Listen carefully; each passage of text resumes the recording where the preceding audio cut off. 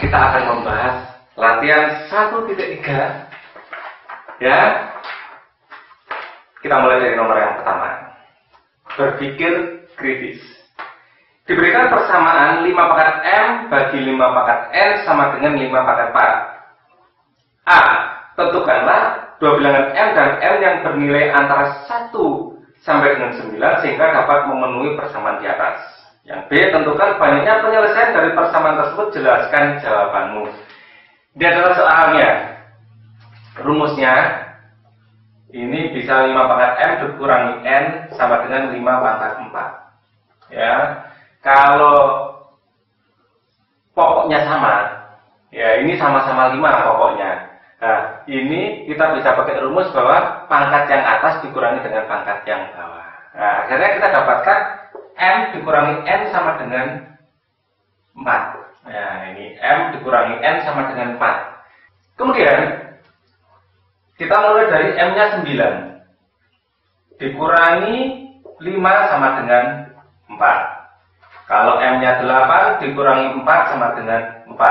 M-nya 7 dikurangi 3 sama dengan 4. Di M-nya misalnya 6 dikurangi 2 sama dengan 4. M-nya 5 dikurangi 1 sama dengan 4. M-nya 4 dikurangi 0 sama dengan 4 juga. Jadi ini sekaligus menjawab pertanyaan yang B. Ada berapa banyak penyelesaiannya? 1, 2, 3, 4, 5, 6. Jadi total ada 6 penyelesaian. Itulah jawaban untuk berpikir kritis soal yang pertama.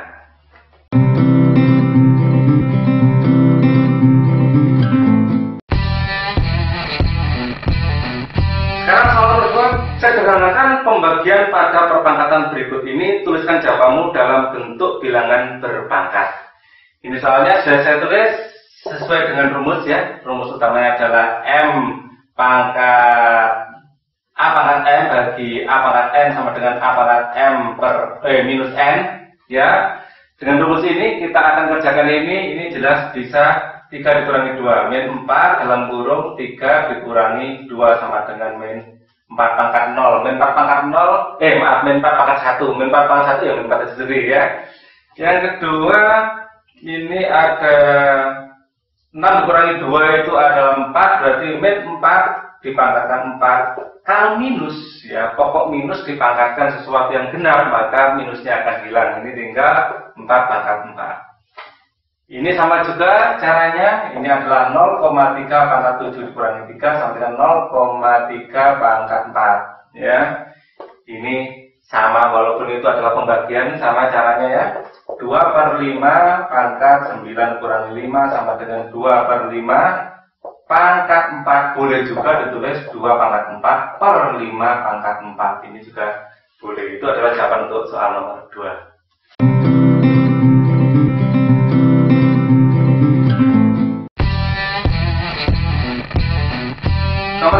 Sederhanakan ekspresi bentuk aljabar berikut.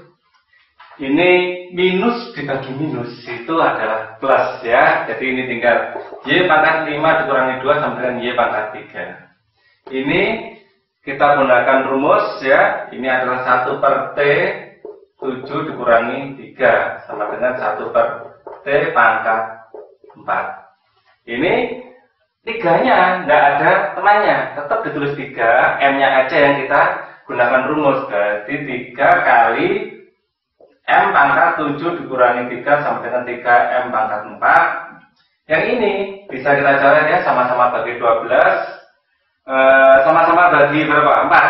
42 nggak bisa bagi 4 ya. Bagi 2 dulu aja. 6 ini 42 21. Bisa bagi lagi ya, sama-sama bagi 3. Ini dapat 2 dibagi 3 dapat 7. Menjadi 7 per 2 Y pangkat 8 Y pangkat 8 dikurangi 3 Ini akan menjadi 7 per 2 Y pangkat 5. Ini adalah jawaban soal nomor 3.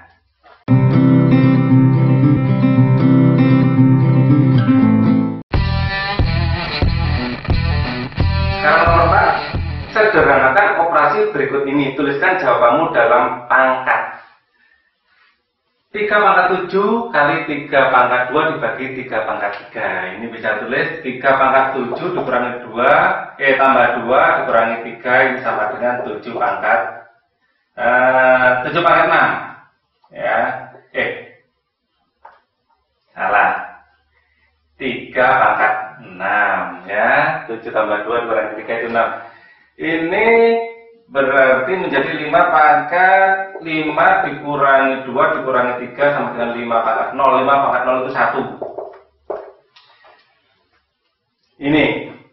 Sama caranya ya. 1 per T dipangkat 7 tambah 3 dikurangi 3 tambah eh dikurangi 2. Dikurangi 2. Ini sama dengan 1 per T pangkat 7 kurang 2 itu 5. Nah. Ini sama caranya, ini 3 sama 5 bisa dikalikan, 15. Sekarang W-nya, W pangkat 4 tambah 3 dikurangi 2. Ya, karena W pangkat 4 dan W pangkat 3 itu dikalikan, dan W pangkat 2 ini adalah pembagian. Kalau pembagian, pangkatnya menjadi minus, maka ini menjadi 15 W pangkat 5. Nah, ini adalah jawaban dari nomor 4.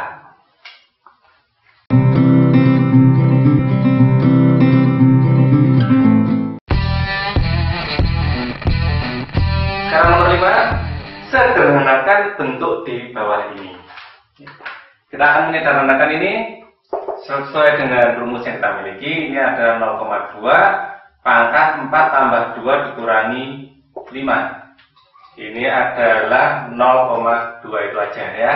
4 tambah 2 kan 6 kurang 5 1 0,2 pangkat 1 pangkatnya boleh tidak ditulis. Ini nah yang bawah karena pokok negatif kalau dipangkatkan genap itu minusnya hilang ya. Ini praktis dua-duanya akan menjadi plus. Dan ini adalah minus dan minusnya akan tetap tinggal di sini Ya, karena ini minus dibagi plus adalah minus. Ini 5 pangkat 5 dikurangi 2 dikurangi 2 menjadi minus 5 pangkat 1. Pangkat 1 boleh tidak tulis. Jadi jawaban akhirnya minus 5 untuk yang B. 12. 12 ini bisa kita 4 kali 3 tambah 4 pangkat 7 kurangi eh bagi 4 pangkat 6 4 pangkat 7 dikurangi 6 sama dengan 4 kali 3 tambah 4. Ya. Ini menjadi 4 yang dikeluarkan 4 dalam kurung 3 tambah 1. 3 tambah 1 itu 4 juga. Jadi 4 kali 4 sama dengan 4 kuadrat. Sekarang yang D ini tiganya tetap tinggal di sini ya. 5 pangkat 4 dan 5 pangkat 3. Ya dibagi 5 pangkat 3 ini menjadi 5 pangkat 4 dikurangi 3 dikurangi 15. 4 dikurangi 3 adalah 1, ya 5 pangkat 1 itu 5, 5 kali 3 15. 15 dikurangi 15 sama dengan 0. Dan yang E 4 pangkat 5 dikurangi 4 pangkat bagi 4 pangkat 4, 4 pangkat 5 kurangi 4 dikurangi 2 pangkat 4 kurangi 3 dikalikan 6 sama dengan ini 4 dikurangi 2 kali 6 sama dengan 4 dikurangi 12 sama dengan min 8 min 8 bisa tulis min 2 pangkat 3 ini jawaban untuk nomor 5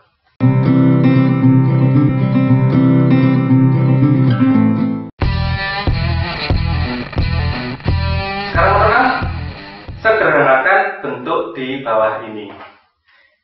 A, ini sudah sederhana karena 5 yang sudah bilangan prima ya. Jadi kalau mau dijadikan pangkat tinggal 5 per 2 pangkat 3. Ya, bisa disederhanakan lebih jauh lagi karena ini sudah prima dan ini sudah prima dan pokoknya sudah beda. Yang ini, nah ini bisa. 32 itu 8 kali 4. Berarti 2 pangkat 5 yang bawah adalah 4 kali 5 2 kuadrat kali 3 5 sama dengan ini 2 pangkat 5 dikurangi 2 2 3 2 pangkat 3 bagi 5 yang C juga bisa 45 itu 9 kali 5 9 kali 5 ya. Ini adalah 3 kali 2 ini bisa 3 pangkat 2 kali 5 bagi 3 kali 2 ini 3 pangkat 2 di sini 3 jadi bisa kita 2 kurangi 1 ya berarti menjadi 3 kali 5 dibagi 2. Titik itu kalau di dalam matematika artinya dikali ya. Kalau nggak ada tanda juga dikali. D ini 50, 25 kali 2. 25 kali 2. Sedangkan 625 adalah 25 kuadrat. 25 kuadrat. Nah, karena pangkat yang bawah lebih besar, Sebaiknya yang atas ditaruh yang bawah malah. Ya, biar pangkatnya positif. Ini 2 dibagi 25, 2 dikurangi 1. 2 per 25. 25 bisa kita jadikan 5 kuadrat. Sama dengan 2 per 5 kuadrat. Ini 49 adalah 7 kuadrat. Ya, 7 kuadrat. 6, 86 adalah sudah saya hitung 7 pangkat 3 kali 2. Ya, ini akan menjadi 1 per 7 3 dikurangi 2 kali 2 sama dengan 1 per 7 kali 2 ya boleh juga tulis per 14 ya itu jawaban untuk yang nomor 6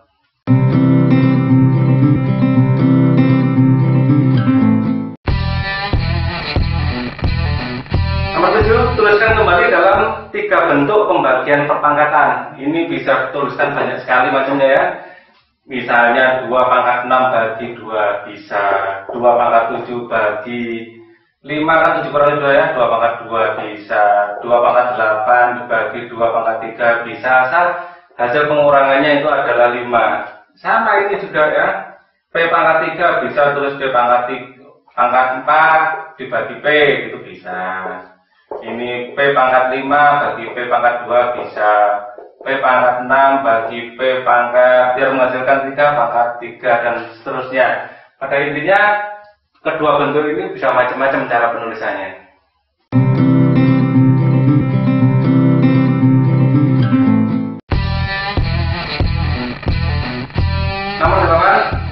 Dapatkan nilai N dari pembagian bilangan berpangkat di bawah ini. Ya, ini adalah soalnya ini bisa kita gunakan rumus, berarti ini S pangkat 2 ditambah 9 dikurangi 4 dikurangi 3 sama dengan S pangkat N. 2 tambah 9 11, 4 tambah 3 7. Berarti tinggal S pangkat 4 sama dengan S pangkat N, jelas N sama dengan 4. Dan yang kedua, dengan cara yang sama, ini 3 pangkat 6 dikurangi 2 sama dengan 9 itu 3 kuadrat. N kali 3 kuadrat 3 pangkat 4 sama dengan N kali 3 kuadrat. Dengan cara perkalian silang kita rubah 3 pangkat 4 bagi 3 pangkat 2 sama dengan N ya. Maka N sama dengan 3 pangkat 4 dikurangi 2 sama dengan 3 pangkat 2 sama dengan 9 itulah nilai N untuk jawaban yang B dan ini nomor 8 caranya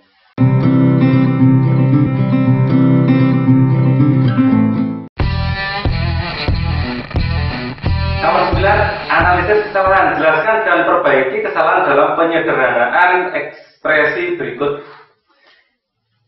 Soal seperti ini kita gunakan rumus A pangkat N bagi A pangkat M sama dengan A pangkat N dikurangi M.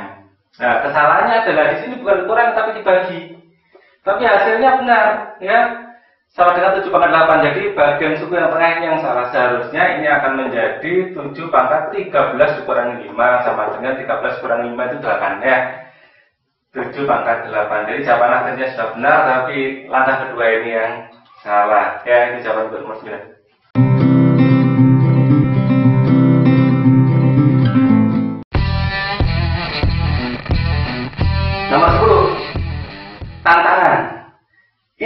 Bunyi percakapan manusia adalah 10 pangkat 6 lebih besar dari intensitas suara manusia berbisik.